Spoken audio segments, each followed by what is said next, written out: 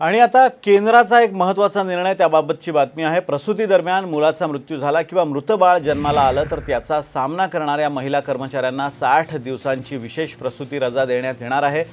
केंद्र सरकारकडून ही माहिती देण्यात आली आहे. गर्भधारणेच्या अठ्ठावीस आठवड्यानंतरही मृत बाळ जन्माला आलं तर ही रजा देण्यात येणार आहे. हा नियम फक्त केंद्र सरकारी कर्मचाऱ्यांना आणि सी जी एच एस अंतर्गत समाविष्ट असलेल्या खाजगी रुग्णालयात बाळंतपणासाठी उपलब्ध असेल.